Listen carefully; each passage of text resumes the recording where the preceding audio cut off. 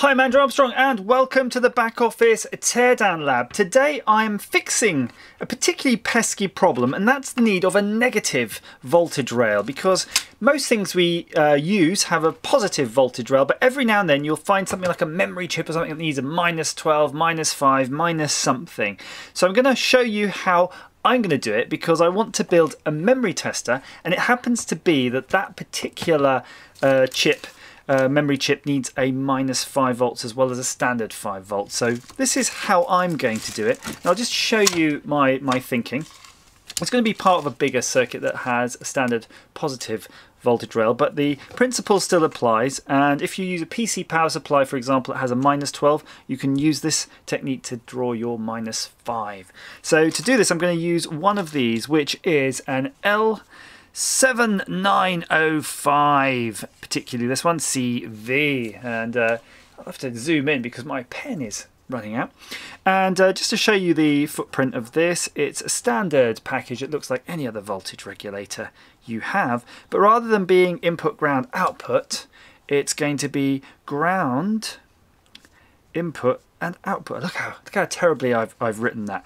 Ground, input, and output. And this is known as a negative voltage regulator. So it actually takes a minus say minus 12 and converts it into a minus 5 so in the same way that you use a regulator to go from a plus value to a smaller plus value this takes a large negative value and makes it into a smaller negative value.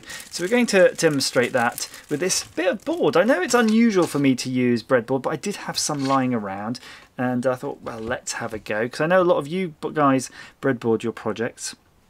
Um, rather than just doing a bit of Veroboard, I thought I'll just jump to this. Because you can always design your own Veroboard, and there's no point copying me in a Veroboard design because it's always freeform. So we'll try on this. So first things first, I've got a 9 volt battery. So to do this, you can use um, two batteries or one battery, however you're going to do it. Um, again, let's get rid of this. Let's go, let's go straight to the foul Sharpie, shall we, just so you can see that. And the uh, idea is, if you have, say, two batteries here, and I'm going to draw them like this, plus negative, plus negative, and these were 9 volts, so these are 9 volt batteries. depending on how you join them. If you join them in series, so you've got a connection like that, there you go, and that measured from here to here will give you 18 volts. And I think we're all pretty clear on that. So the idea is, if you want a negative voltage, if you consider this your negative point here, and I'm going to draw a line over here so we can see the measure. The measurement between here and here is 9 volts, yeah?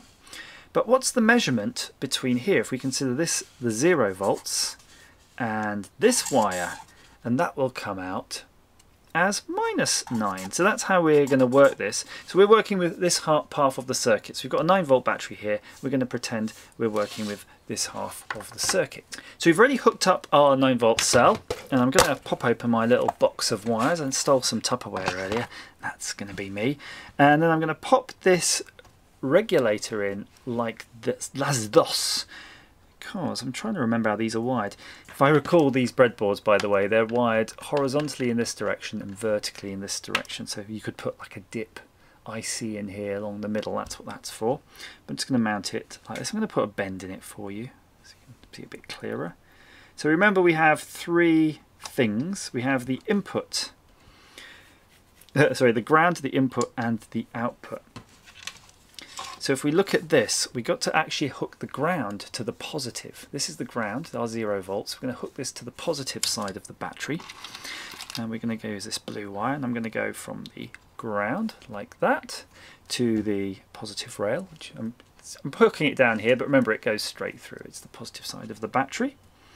And then we're going to hook the input, which goes from the negative rail to the middle pin, like that and then we have our output pin.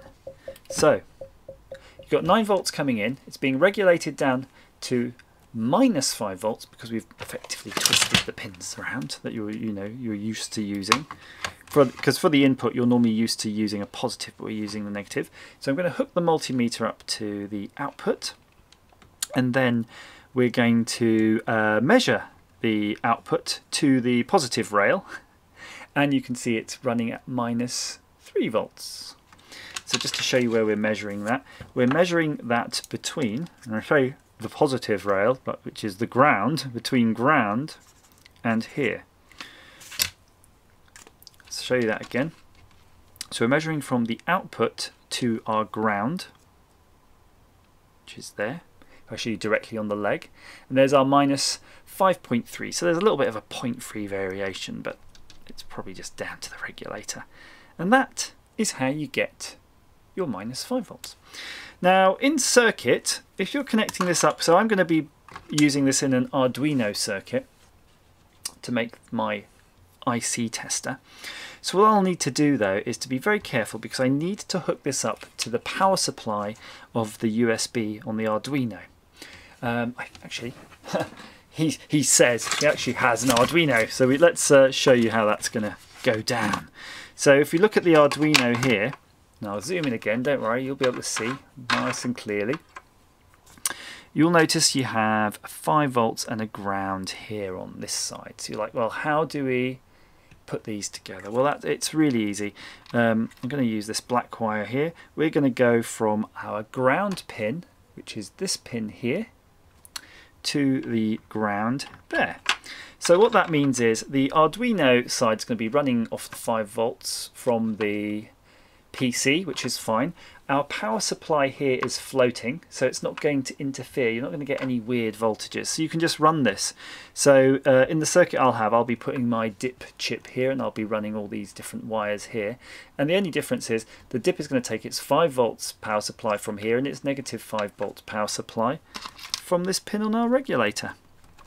And that should all work as expected. So I hope that's been of some use to you. Please like, share, subscribe and come and chat to me in my Discord channel about this sort of thing. If you've got a better way of doing this, let me know. I would love to know a nice way of building a small PCB that could actually derive the minus, uh, 5 volts or maybe even minus 12 volts itself from an input 5 volts. That would be cute, wouldn't it? As ever, thank you for watching.